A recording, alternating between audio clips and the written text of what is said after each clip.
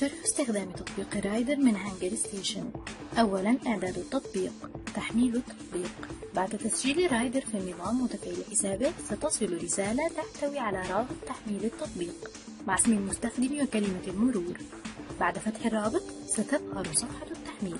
قم بالضغط على زر التحميل لتبدأ تجربتك مع Hunger Station ستظهر هذه الصفحة في حالة حظر تثبيت التطبيقات التي لم يتم الحصول عليها من متجر Play يجب تفعيل المصادر غير المعروفة عن طريق الضغط على الضبط. ثم تفعيل المصادر غير المعروفة. ثم الضغط على تثبيت.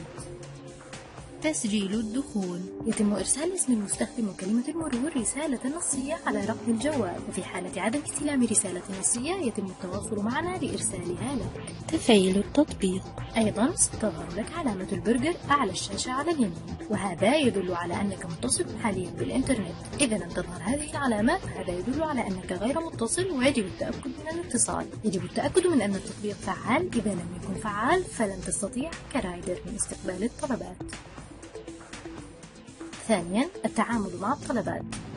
الصفحة الرئيسية للطلبات بها اسم المطعم ورقم الطلب وطلب جديد.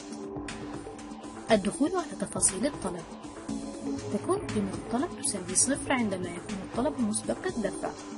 Prepaid أي تم الدفع بواسطة البطاقة الائتمانية. طلب مسبق الدفع. عند الضغط على السهم يتم إظهار تفاصيل الطلب. كيفية معالجة الطلبات؟ كل طلب يتكون من مهمتين. هما مهمة أخذ الطلب من المطعم ومهمة توصيل الطلب للعميل.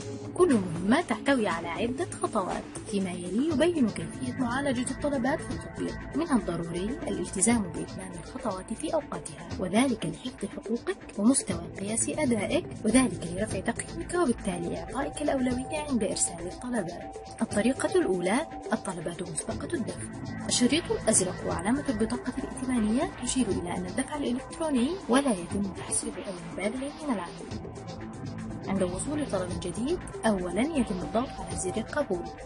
الطريقة الثانية طلبات الدفع النقدي عند الاستلام. قيمة الطلب نقدا.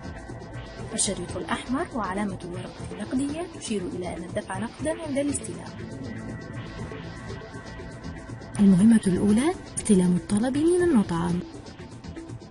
ثانيا بدء مهمة الاستلام. الضغط على زر ابدأ مهمة الاستلام. ثالثا فتح خريطة موقع المطعم. الضغط على خريطة موقع المطعم لمعرفة موقعه والتوجه إليه. رابعا إتمام مهمة استلام الطلب. عند استلام الطلب من المطعم يجب الضغط على زر استلمت الطلب وبالتالي تنتهي المهمة الأولى. ملاحظة. عند إتمام مهمة استلام الطلب من المطعم يجب أولا أن تكون استلمت الطلب فعليا وأن تضغط على زر استلمت الطلب وأنت داخل المطعم أو على بعد 100 متر على الأقل من المطعم. وإلا لن تستطيع إتمام الخطوة. المهمة الثانية توصيل الطلب إلى العميل. أولا بدء مهمة التوصيل. بعد استلام الطلب يتم الضغط على زر ابدأ مهمة التوصيل وذلك لبدء مهمة التوصيل الطلبي للعميل.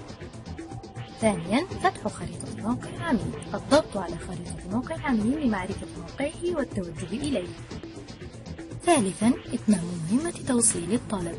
بعدما يتسلم العميل الطلب يتم الضغط على زر إنهاء المهمة. وبالتالي تكون قد أتممت المهمة الثانية وتم تحديث رصيد المحفظة.